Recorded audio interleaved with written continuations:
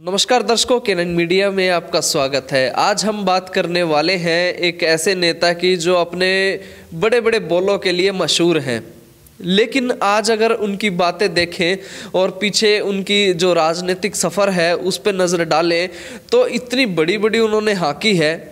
कि आज उसको समेटना मुश्किल है। जी हाँ हम बात कर रहे हैं राज्यसभा सांसद बीरेंद्र सिंह डूमर खां की। जी हाँ बीरेंद्र सिंह डूमर खां ने एक पेशकश की थी अपने बेटे को टिकट दिलाने के लिए कि उनका इस्तीफा ले लिया जाए और उनके बेटे को टिकट दे दी जाए। इस बार उन जो विधानसभा के चुनाव हुए, उनकी पत्नी प्रेमलता भी चुनाव उचाना से हार गई।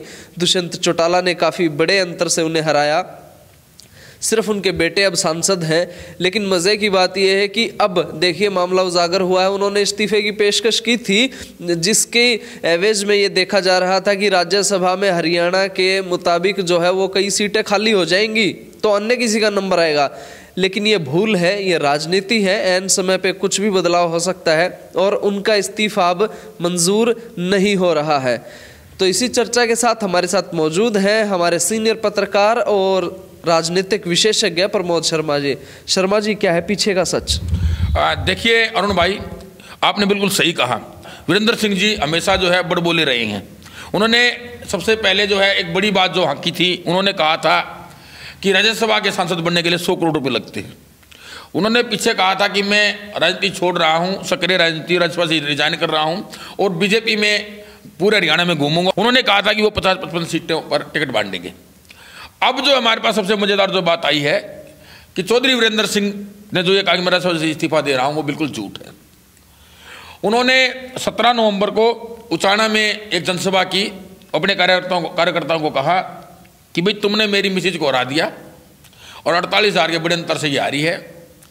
अब तुम अपने बच्चों को उस बागड़ी दुष्यंत चौटाला से लगवाना। और मैंने राज्यसभा से इस्तीफा दे दिया है, अब मैं कोई सक्रिय राजनीति नहीं करूँगा, मैं तो पूरे हरियाणा में घूमूँगा। लेकिन इसके पीछे का जब मैंने सच पता किया तो मैं पता लगा कि चौधरी वीरेंद्र सिंह ने राज्यसभा से इस्तीफा नहीं दिया है। हरियाणा में हर जगह ये बात थी कि वीरेंद्र सिंह ने इस्तीफा दे दिया है। बीजेपी में उपचुनाव राज्यसभा की सीटों के लिए उपचुनाव होगा और बीजेपी में तीन दावेदार भी मुख्य रूप से आए थे कि जाट नेता की सीट खाली होने पर तीन जाट नेताओं ने अपना अंदर खाते दावा भी दिखा दिया था, जिसमें जो है हरियाणा भाजपा के अध्यक्ष सुभाष बराड़ा जी, पूर्व मंत्री कैप्टन मन्नू जी और पूर्व मंत्री ओम प्रकाश धनखड़ जी। तीनों जो है नेताओं में मारा मारी थी, कौन राज्यसभा में जाएगा? लेकिन यहाँ तो कुछ और ही बात हो गई। चौधरी वीरेंद्र सिंह ने रिजाइन ही नहीं किया। उन्होंने अपना रिजाइन कहा कि मैंने उपराष्ट्रपति को भेज दिया है, जबकि उपराष्ट्रपति के यहाँ उनका रिजाइन नहीं भेजा गया था। उन्होंने अपना रिजाइन सिर्फ़ अनिल जैन जी जो हरियाणा के प्रभारी उन्हें दिया था और अमित शाह जी को पेशकश की थी। परिवारवाद के नाम पर भाजपा की थू थू हो रही थी, क्योंकि चौधरी वीरेंद्र सिंह जी खुद सांसद थे, उनकी धर्मपत्नी विधायक थी और वो अपने लड़के को सांसद का इलेक्शन लड़वाना चाहती थी। उन्होंने सांसद का इलेक्शन लड़ने से पहले उन्होंने जो है कहा कि मैं जो है अपने जो है राज्यसभा की सीट से रिजाइन कर दूँगा, लेकिन उन्होंने रिजाइन नहीं किया। उनकी श्रीमती भी जो अड़तालीस हज़ार मतों से सैंतालीस हज़ार से ज़्यादा भी, सैंतालीस हज़ार से ज़्यादा मतों से बुरी तरह से चुनाव हार गई। और वो अब राज्यसभा में जो है शीतकालीन सत्र में बीस दिन में से पंद्रह दिन जो है राज्यसभा में गए हैं और उन्होंने वहाँ अपनी हाजिरी लगाई है। मैं आपको बता दूँ कि राज्यसभा में हाजिरी लगने पर प्रतिदिन जो है मान्यता प्राप्त होता है। तो वो उन्होंने अटेंडेंस लगाकर अपना जो है, उस दिन का भत्ता जो है लेने के लिए उन्होंने अटेंडेंस लगा दी है। अब जो है वीरेंद्र सिंह जी ने, मैं आपको बता दूँ, पीछे से हमेशा से ही झूठ और पर बोलेपन की राजनीति की है। 2000 में चौधरी वीरेंद्र सिंह जी उचाना विधानसभा से चुनाव हार गए थे बाघ सिंह छत्तर से तो बाघ सिंह छत्तर से इलेक्शन हारने के बाद उन्होंने देखा कि उनकी राजनीति जो है बिल्कुल खत्म हो गई थी। हरियाणा कांग्रेस में दो ग्रुप बन गए थे। जाट नेता के रूप में चौधरी भूपेंद्र सिंह हुडा जो तत्कालीन प्रदेश अध्यक्ष थे, वो उभर रहे थे। और नॉन जाट के रूप में पूर्व मुख्यमंत्री भजन लाल जी थे। तो उन्होंने जयप्रकाश, जो उस समय जो है केंद्र में उपमंत्री रह चुके थे, और उन्होंने अपनी एक पार्टी बनाई थी हरियाणा गण परिषद।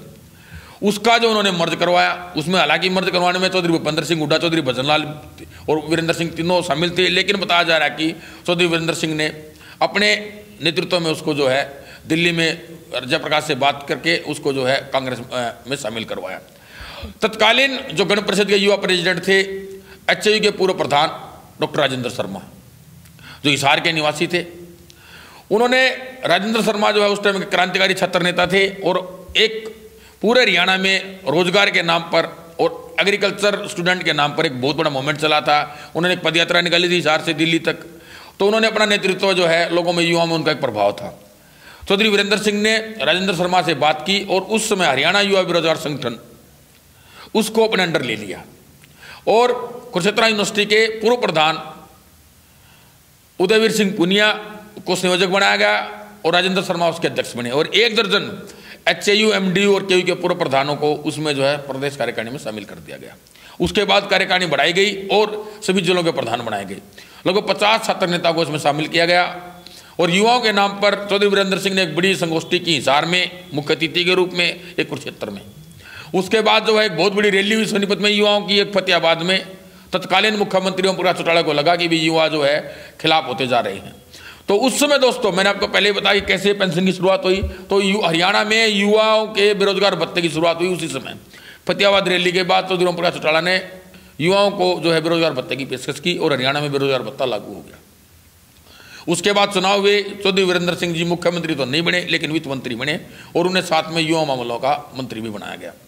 रैलियों में चौधरी वीरेंद्र सिंह जी कहते थे कि मुझे वो फार्मूला पता है कि एक बार मेरे हाथ में सत्ता आई तो मैं हरियाणा से बेरोजगारी दूर कर दूँगा। उन्होंने कहा था कि मैं युवा मंत्रालय में एक ओवरसीज विभाग बनाऊँगा और सभी आई पॉलिटेक्निक और इंजीनियरिंग के छात्रों को विदेश भेजूँगा। वो विभाग भी बना, उसमें एक दर्जन से भी कम छात्र जो विदेश जा पाई और ये जो है मामला ठंडाई में पड़ गया। और तो छोड़िए दोस्तों, जो उस समय के उस संगठन के एक दर्जन से ज़्यादा साथी थे, वो भी बेरोजगार रह गए। चौधरी वीरेंद्र सिंह ने उनकी मदद नहीं की और संगठन को अपने नाम पर यूज़ कर लिया। उसके बाद चौधरी वीरेंद्र सिंह जी ने इलेक्शन हार गए, राज्यसभा की राजनीति की, मौका देखते ही भाजपा में चले गए। भाजपा में केंद्रीय मंत्री बने और अब जो है चौधरी वीरेंद्र सिंह ने कहा कि मैं अपने लड़के के लिए युवाओं के नाम पर जो है सीट खाली कर रहा हूँ और उन्होंने अपनी सीट खाली नहीं की। पिछले महीने जो है पंद्रह दिन शीतकालीन सत्र में राज्यसभा में गए और अपनी हाजिरी लगाई। चौधरी वीरेंद्र सिंह की जो है इस्तीफा देने की बात जो है हवा में बिल्कुल झूठी तैर रही थी, क्योंकि उन्होंने ही पिछले महीने ही निडानी में मंत्री रणजीत सिंह की अध्यक्षता में एक कार्यक्रम हुआ था, उन्होंने दस लाख रुपए देने की घोषणा की थी। चौधरी भूपेंद्र सिंह हुड्डा पूर्व मुख्यमंत्री ने भी अपने जो है, पूर्व मुख्यमंत्री चौधरी भूपेंद्र सिंह हुड्डा ने भी चंडीगढ़ सीट अपने आवास पर भी ये बात कही थी कि हरियाणा में राज्यसभा की सिर्फ़ दो सीटें ही खाली होंगी। चौधरी वीरेंद्र सिंह अभी सांसद हैं, उनकी सीट खाली नहीं मानी जाएगी। तो इस प्रकार हम आपको बता सकते हैं कि चौधरी वीरेंद्र सिंह ने हमेशा ही युवाओं के साथ छलकपट किया है। अपनी राजनीति के लिए जो हमेशा झूठ और बड़े बड़े वालेपन की राजनीति की है।